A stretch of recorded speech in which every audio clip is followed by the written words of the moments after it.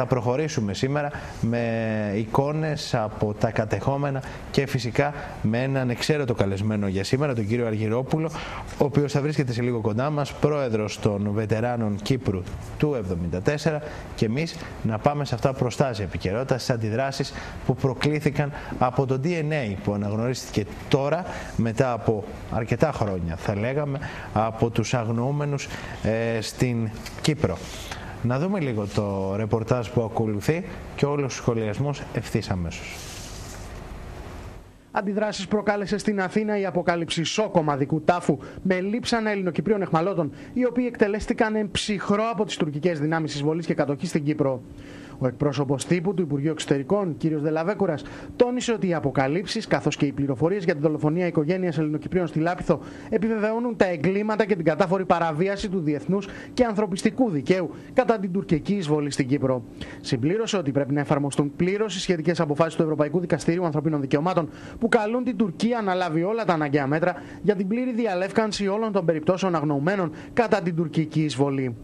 Ο πολιτικός εκπρόσωπος του Πασόκ για θέματα εξωτερικής πολιτικής, Ανδρέας Λοβέρδος, τόνισε πως πρόκειται για μια ανατριχιαστική επιβεβαίωση όσων φοβόμασταν και βασίμως υποθέσταμε ότι έχουν γίνει. Ε, είναι η επιβεβαίωση της όψης του Τούρκου εισβολέα του 1974 και της θηριωδίας που είχε συντελεστεί.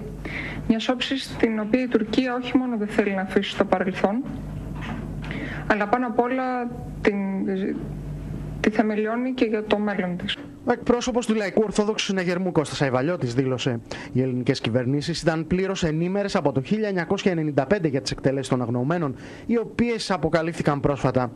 Όλες όμως προσπερνούσαν το τραγικό συμβάν προκειμένου να μην διαταραχθούν οι υποτιθέμενες καλές σχέσεις με την Τουρκία.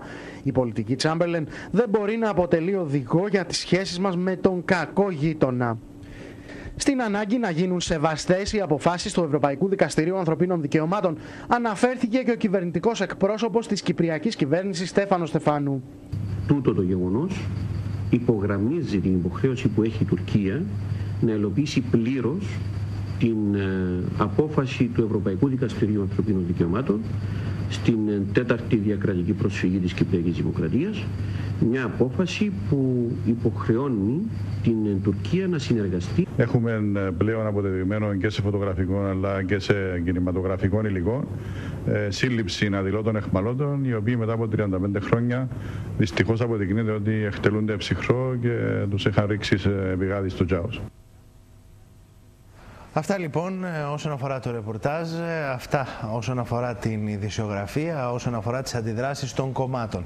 Αντιδράσεις που λογικό και επόμενο έπρεπε να είναι εύλογες από την πρώτη, ε, θα λέγαμε, τάση αντίδρασης των ανθρώπων οι οποίοι βρισκόντουσαν κοντά στους αγνώμενους και οι οποίοι ζητούσαν το δίκαιο τους εδώ και πάρα πολύ καιρό.